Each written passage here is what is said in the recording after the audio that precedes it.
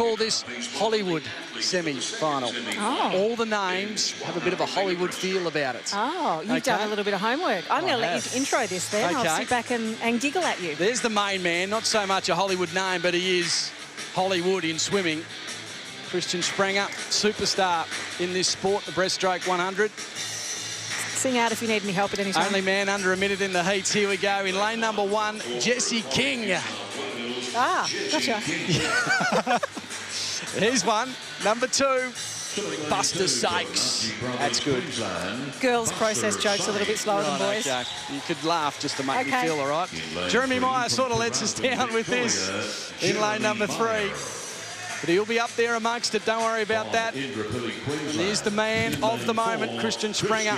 The only man out of all the heats to swim under a minute with a 59.76. Kenneth To will be dipping that toe into the water very soon, the 2012 World Cup champ. What's your Twitter address for feedback? Uh, at Lockie, L-A-C-H-Y underscore breed. Gonna, I'm going to get abuse. That was Jayden Hadler. yes. Tommy Sucipto. In seven, it's Toppy, Tommy Sucipto. And in eight, James Stacey. It sounded better when I was rehearsing it, but anyway. Okay. It's so Hollywood semi-final number two. It will be a fast second semi-final. Kenneth To, better known as an IMer, swims a good breaststroke.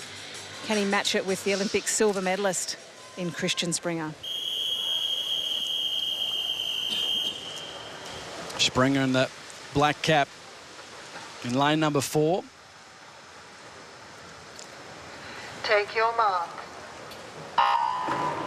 We're underway. A bit of a slow start that time from Sprenger. He's just off the pace at the moment, but we know how good he is as he comes out of the water. All of a sudden, he's in front. I think it was a throw-off. The two boys either side of him had a faster reaction time, but once Christian hit the water, again showing that the reaction time isn't everything. It's what you do once you hit the water as well. A beautifully just efficient technique. You see he comes out very high as well. Hardly any wash around him as he re-enters into the water. You wouldn't think anyone Wow. will catch him. How good is that? The first 50 sensational from Christian Sprenger. To in second, Meyer in third at this stage. But this is the man to catch in the black cap.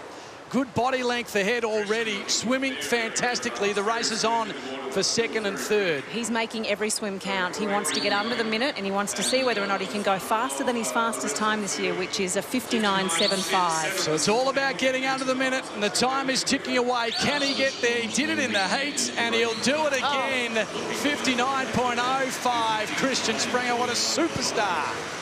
Well, the world number one ranked time for the year, Christian Sprenger, 59.05. Fantastic performance by him. His personal best time is a 58.93, and that was at the Olympic Games to win him the silver medal. As we said, just a little off the pace as he entered the pool, but once he got the kick and the pull through going, he just came up in front and just continued to stretch the margin. Yeah, the technique that he's worked with Simon Cusack, his coach, the same training uh, coach as the Campbell sisters, Bronte and Kate. He's really done a fantastic job in making this even more efficient. But I have to say, well done to Christian because he didn't really take a break after the Olympics. He, he had some hunger. He wanted to try and get out there and race and get some results and some cash as well. He raced at the World Cup, he raced at the World Short Course Championships, and he's just continued his momentum. Just enjoying his time at the moment. That was really impressive performance from him, Christian Sprenger, with a 59.05. Kenneth To couldn't get under the minute, but he's got another chance, you would have to think, in the finals coming up